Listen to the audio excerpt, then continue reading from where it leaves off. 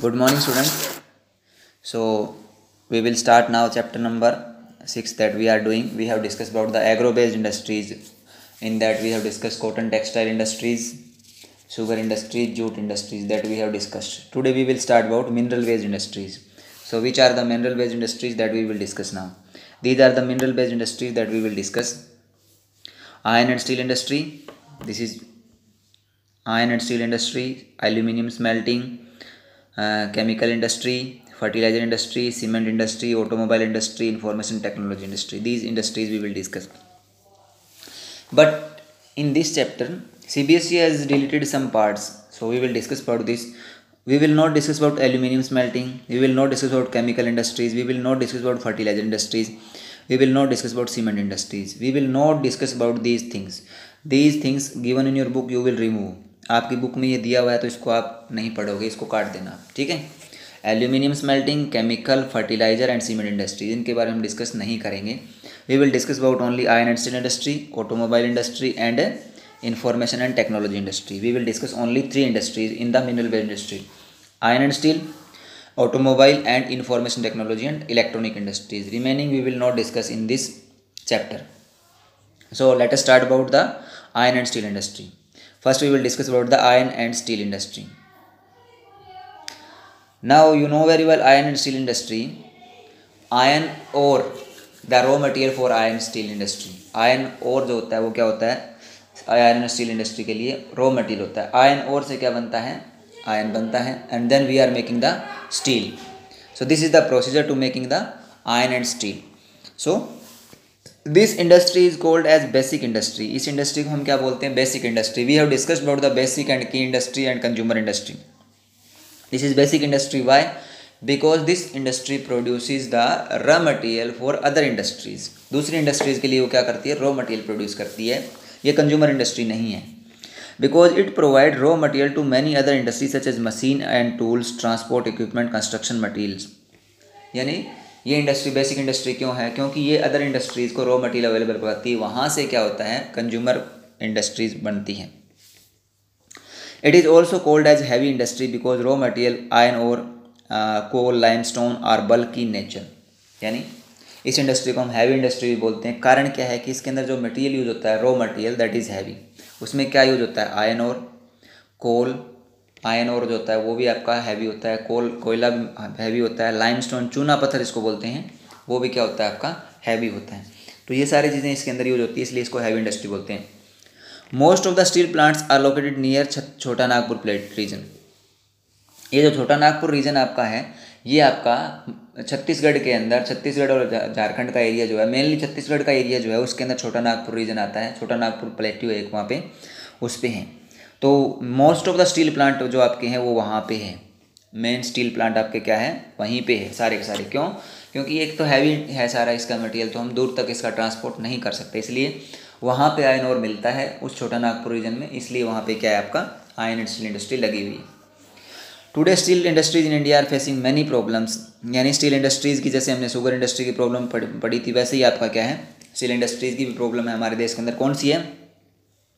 High cost of production, यानी जब हम आयरन एंड स्टील बनाते हैं तो उसको बनाने में जो हमारा मनी इन्वेस्ट होता है, वो ज़्यादा है। यानी प्रोडक्शन कम है, पैसा ज़्यादा लगता है उसके अंदर। Limited availability of coking coal यानी जो गुड क्वालिटी का कोल है that is required for the melting of iron ore तो उसका हमारे पास लिमिटेड अवेलेबिलिटी है, वो ज़्यादा अमाउंट में अवेलेबल नहीं है। Low productivity of labour labour जो है, उसकी भी प्रोडक्टिविटी ज़्यादा नहीं है, इसलिए वो भी प्रॉब्लम है। Irregular supply of energy that we already discussed की जो इलेक्ट्रिसिटी की प्रॉब्लम है, वो सभी जगह पे हैं। Raw materials are found only in certain pocket of India जो आयन और है कोल है, या लाइमस्टोन है, वो आपका एक सेलेक्टेड एरिया में इंडिया में मिलता है। It is not found in all areas of India तो उसके कारण भी इसका कम। Poor infrastructure like transported communication infrastructure का क्या होता है? जो मशीन्स है, जो यूज़ हो रही है, वो आपका पुराना है। और ट्रांसपोर्ट और कम्युनिकेशन सिस्टम भी इतना ज़्यादा डेवलप्ड नहीं है तो उसके कारण क्या है? These are the problems faced by iron and steel industry in India तो आपको अगर कुछ क्वेश्चन पूछाता था what are the problems faced by iron and steel industry in India तो ये पॉइंट आपको लिखने हैं। नेक्स्ट थिंग इज़ गिवन कि आपकी जो most of the iron steel industries है, वो आपकी पेनिनसुलर इंडिया के अंदर क्यों है? पेनिनसुलर इंडिया कौन सा होता है? जो हमारा इंडिया का लोअर पार्ट है। जैसे आपका ऐसे करके और ऐसे वाला जो पार्ट है, ये नीचे वाला जितना भी पार्ट है, इसको हम पेनिनसुलर बोलते हैं। पेनिनसुलर क्यों बोलते हैं? क्योंकि it is covered from three side of waters जो एरिया तीन साइड से वाटर से घिरा होता है, एक land area a land area which is covered from three sides with water that is called peninsular उसको हम क्या बोलते हैं? पेनिनसुलर चार साइड से होता है, उसको आइलैंड बोलते हैं। तो जो पेनिनसुलर हमारा है, वो नीचे वाला पार्ट इस तरीके का जो है जो इस तरीके का ये पार्ट हमारा है, नीचे वाला इस तरीके से तो ये जो पार्ट है, इसको हम पेनिनसुलर इंडिया बोलते हैं। तो मोस्ट ऑफ़ द इंडस्ट्रीज़ है, वो इसी एरिया के अंदर है। उसका कारण क्या है? उसके कारण देखो, पहला है good and more raw materials यानी जो रॉ मटेरियल है गुड क्वालिटी का, वो इसी एरिया में मिलता है। पावर रिसोर्सेज जो कोल है ऑयल है वाटर पावर है, वो सारी यहाँ पे पेनिनसुलर इंडिया के अंदर अवेलेबल है। Skill labour cheap and skill labour क्योंकि इस एरिया में पॉपुलेशन भी ज़्यादा है, महाराष्ट्र हो गया, आपका मध्य प्रदेश हो गया, छत्तीसगढ़ हो गया, झारखंड हो गया, बिहार हो गया, वेस्ट बंगाल हो गया। तो यहाँ पे क्या है आपको? चीप एंड स्किल लेबर भी अवेलेबल होता है। नियरनेस टू मार्केट और यहाँ से मार्केट भी है, क्योंकि जैसे कोलकाता हो गया, मुंबई हो गया, यहाँ पे यहाँ पे मार्केट भी अवेलेबल हो जाती है। पोर्ट फैसिलिटीज़ मुंबई भी एक पोर्ट है, कोलकाता भी एक पोर्ट है। तो दोनों जगह पोर्ट फैसिलिटी है, यानी यहाँ से हम we can export in other countries also यहाँ से हम एक्सपोर्ट भी कर सकते हैं दूसरे कंट्रीज़ के लिए। इसीलिए इस एरिया में सारे सारी आपकी इंडस्ट्रीज़ आयरन एंड स्टील की हैं। तो ये आपकी आयरन एंड स्टील इंडस्ट्रीज़ का कुछ पार्ट दिया हुआ है। कौन कौन सी iron and steel industries India के अंदर है? ये देखो, ये एरिया सारा सारा आपका छोटो नागपुर रीजन का एरिया है। यहाँ पे सारे सारे इंडस्ट्रीज़ हैं। जैसे आपका बर्नपुर है, दुर्गापुर है, फिर बोकारो आपका झारखंड के अंदर हो गया। फिर आपका जमशेदपुर, झारखंड के अंदर हो गया। राउरकेला आपका उड़ीसा के अंदर हो गया। भिलाई आपका छत्तीसगढ़ के अंदर है, विजयनगर और आपका भद्रावती, ये आपका क्या है? कर्नाटका के अंदर है, सेलम आपका तमिलनाडु के अंदर है। तो ये आपके कुछ मेजर एरियाज़ हैं जो आपके main iron steel plant India के अंदर है। These are the major steel plant in India ये सारे सारे आपके क्या हैं? मेजर स्टील प्लांट है। You will locate in your book also Visakhapatnam रह गया था जो आपका आंध्र प्रदेश में। है तो ये भी आपका क्या है एक आयरन स्टील प्लांट है। तो ये आपके क्या है? आयरन एंड स्टील प्लांट है, जो आपके मैंने आपको बताया, ये you will mark in your map also आप मैप में इसको मार्क करना है सभी को, ठीक है? Now next we will discuss about the automobile industry we will not sorry we will discuss about automobile industries अब आयरन स्टील इंडस्ट्रीज़ के अंदर एक चीज़ और मैं बता देता हूँ कि आयरन स्टील इंडस्ट्रीज़ जो हमारे इंडिया के अंदर मेजर टेन स्टील प्लांट हैं। हमारे देश के अंदर टेन स्टील प्लांट हैं। उसमें से नाइन पब्लिक सेक्टर में है वन प्राइवेट सेक्टर में है। पब्लिक सेक्टर का मतलब क्या है कि आपका वो सारे के सारे गवर्नमेंट के अंडर में आते हैं नाइन जो है। एक सिर्फ़ जमशेदपुर के under Tata iron steel corporation TISCO इसको बोलते हैं। That is only controlled by private organisation जो सिर्फ़ एक प्राइवेट है। दस स्टील प्लांट इंडिया के अंदर है, उनमें से मेन छोटे छोटे तो बहुत है उसके अंदर। जो मेन स्टील प्लांट है हमारे, वो दस ही हैं। उन दस के अंदर से नौ तो पब्लिक सेक्टर में हैं दो हज़ार ओन्ड बाई गवर्नमेंट जो गवर्नमेंट के अंडर में हैं। सिर्फ़ एक जमशेदपुर में Tata iron and steel corporation है। वो जमशेद टाटा ने लगाया था तो वो टाटा कंपनी की तरफ़ से तो इसलिए वो एक प्राइवेट सेक्टर में है remaining all are in public sector दूसरा दो, दो टाइप्स के आपके स्टील प्लांट बताए गए एक बताया गया इंटीग्रेटेड और एक बताया गया मिनी स्टील प्लांट इंटीग्रेटेड होता है लार्ज स्केल में जहाँ पे सारा काम होता है. The whole things are done in large scale वहाँ पे जो लार्ज स्केल पे काम होता है वो इंटीग्रेटेड होता है. और जहाँ पे स्मॉल स्केल पे होता है सिर्फ़ एक सिर्फ़ आयरन एंड स्टील बनता है, उसके बाद में उसको आगे शीट बनाना, और करना, वो काम नहीं होता है। वो होता है मिनी स्टील प्लांट ये आपकी बुक में दिया हुआ you can read from your book also ना we will discuss about the automobile industry automobile कौन सी होती है? व्हीकल्स हमारे जो होते हैं। Automobile provide vehicles for quick transport of good services and passenger automobile का मतलब क्या होता है? क्या करता है हमारे को क्या प्रोवाइड करता है वो? वो हमारे को क्विक ट्रांसपोर्ट अवेलेबल करवाता है। सर्विस अवेलेबल करवाता है पैसेंजर्स को। Truck buses car motorcycle scooter three wheeler and multi utility vehicles are manufactured India at various centres यानी हमारे देश में ऑल टाइप्स व्हीकल बनते हैं। इसमें ट्रक भी है बसेज भी है कार भी है मोटरसाइकिल भी है स्कूटर भी है थ्री व्हीलर भी है। जो ऑटो होते हैं वो आपने देखा होगा। तो ये आपके क्या होते हैं सारे सारे? ये इंडिया के अंदर बनते हैं। जो मेजर एरिया है, जहाँ पे ये बनते हैं वो कौन कौन से हैं? वो है Delhi, Gurugram, Mumbai, Pune, Chennai, Kolkata, Lucknow, Indore, Hyderabad, Jamshedpur and Bengaluru. These are the major areas where automobile industries are in our country and they are producing different type of vehicles in our country. तो ये different type के vehicle हमारे यहाँ पे बनाते हैं।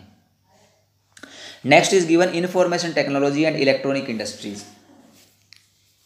अगला हम पढ़ेंगे इंफॉर्मेशन टेक्नोलॉजी और इलेक्ट्रॉनिक इंडस्ट्रीज़ के बारे में।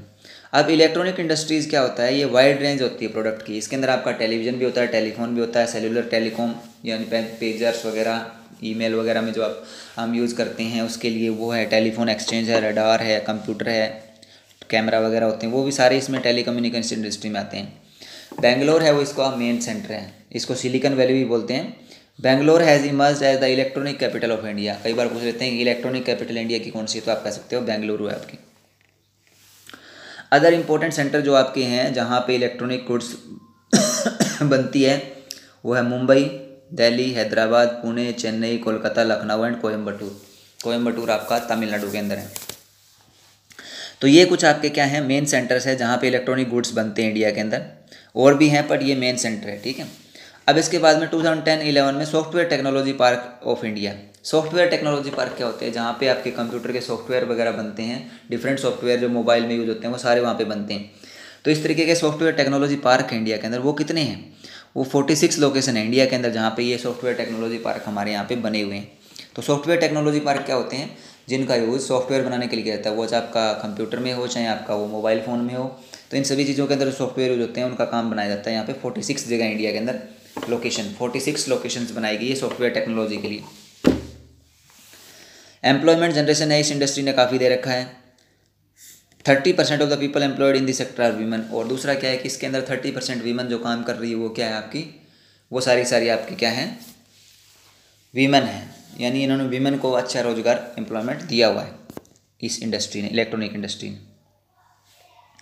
ये कुछ सॉफ्टवेयर टेक्नोलॉजी पार्क है हमारे, जो हमें डिस्कस करने हैं। श्रीनगर हो गया, मोहाली हो गया, नोएडा हो गया, जयपुर हो गया, गांधीनगर हो गया इंदौर हो गया, मुंबई और पुणे हो गया, महाराष्ट्र के अंदर। हैदराबाद हो गया आपका, बेंगलुरु हो गया, मैसूर हो गया, कर्नाटका में। तिरुवनंतपुरम हो गया, चेन्नई हो गया, विशाखापट्टनम है, भुवनेश्वर है, कोलकाता है और Guwahati. These are the software technology park in our country so you what you will do you will mark these in your book also map also आज दो मैप मैंने आपको करवाया एक आयन स्टील वाला और एक सॉफ्टवेयर टेक्नोलॉजी पार्क वाला। तो ये मैप आपको दोनों ही इसके अंदर करने हैं, ठीक है? Right down because these maps will come in your exam also ये एग्ज़ाम में भी आपके आएँगे। अगला आपका आता है industrial production pollution and environmental degradation that we will discuss in the next video जो हम अगले वीडियो में डिस्कस करेंगे। लास्ट टॉपिक है ये वीडियो का, ठीक है?